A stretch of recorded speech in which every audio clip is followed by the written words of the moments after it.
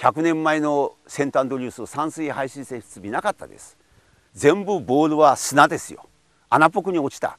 デボッド打ちだったんです。上から叩きつけて打っていった。だから広いスタンスでフックグリップで上から落ちてガーンと打って終わりだったんですよ。芝生が生え揃った散水排水ができて長いフォローの方がボールを正確に飛ばすことが分かった。それでスイングが変わった。シャフトがスチールになりボールがガッチャボールからラバーボールになった。全てが同じ時期に集約された。そしてここで日本は遅れたんです。トップスイング出前持ちというディボット打ちのスイングがいまだもってばっこしてる。出前持ちスイングにしろと教えた。これは実はディボット打ちのスイングなんです。トップスイング上げます。左腕地面に平行肩は90度すでに。内角この角度120度。そして右手首は90度。スイング面があります。これを直角に支えるんです。右手で。